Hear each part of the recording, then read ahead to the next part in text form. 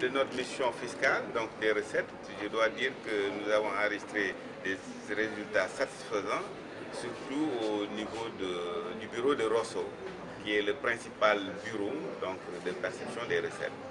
Et euh, je dois signaler qu'au rythme où évolue ce niveau des recettes, euh, nous devrions dépasser, euh, n'est-ce pas, le résultat de l'année 2013.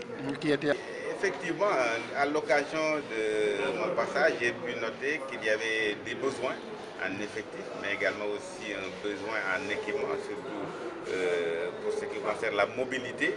Vous savez que c'est un, espace très vaste qu'il convient de surveiller.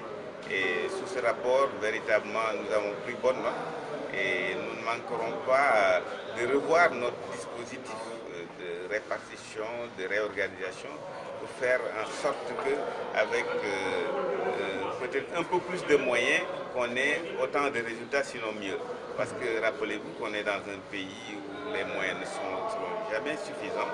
Et donc il faudra véritablement que les agents, que nos administrations en général, invoquent l'efficience pour une meilleure rationalisation et meilleure utilisation des moyens disponibles.